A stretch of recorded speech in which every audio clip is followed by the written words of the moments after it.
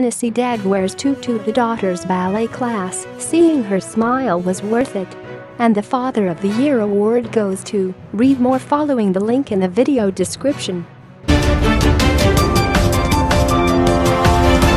The truth about Jon Gruden in Tennessee coaching search. Knoxville, Tennessee. The Jon Gruden to Tennessee groomers are in full effect. Reporters are fruitlessly staking out airports. Bloggers are looking to out-sensationalize one another. Read more following the link in the video description. Dream on, Tennessee, but Jon Gruden isn't Nick Saban. Said it before, but it bears repeating as the number groomers reach critical mass. SEC football programs would be much better off if they would stop trying to hire another Nick Saban. Read more following the link in the video description.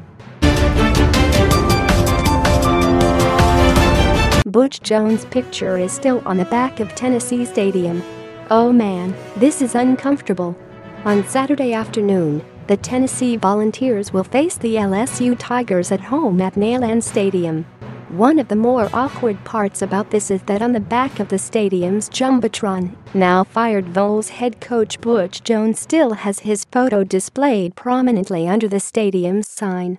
Read more following the link in the video description.